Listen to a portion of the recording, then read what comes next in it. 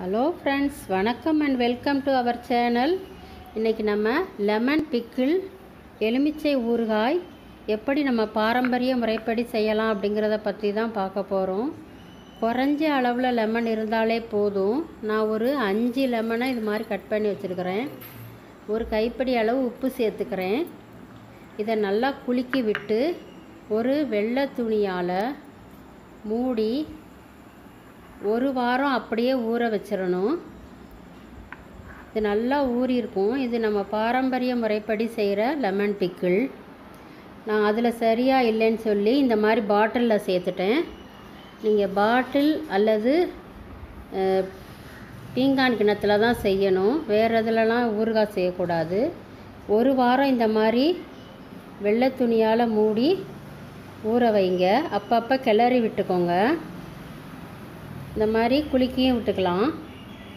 ஒரு வாரம் நல்லா ஊறின பிறகு லெமன்லாம் நல்லா வெந்த மாதிரி ஆகிடும் பாருங்கள் எப்படி லெமன் சுருங்கி போச்சுன்னு பாருங்களேன்.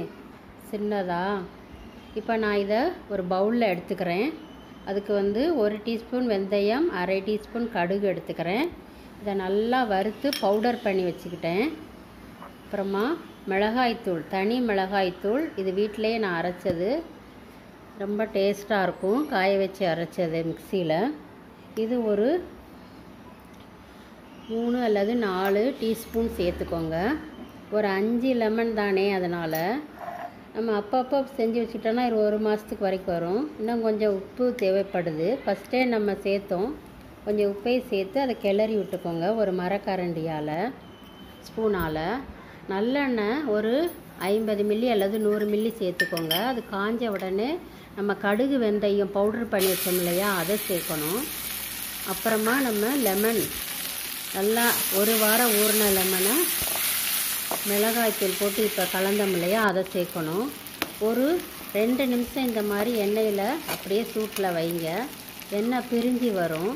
அந்த நேரத்தில் நீங்கள் ஸ்டவ் ஆஃப் பண்ணிடுங்க நல்லா ஆறின பிறகு இந்த மாதிரி நீங்கள் ஒரு பவுலில் வச்சு ஆற வச்சு அதுக்கப்புறமா நீங்கள் கண்ணாடி பாட்டிலில் ஸ்டோர் பண்ணி இந்த மாதிரி வச்சுக்கலாம்.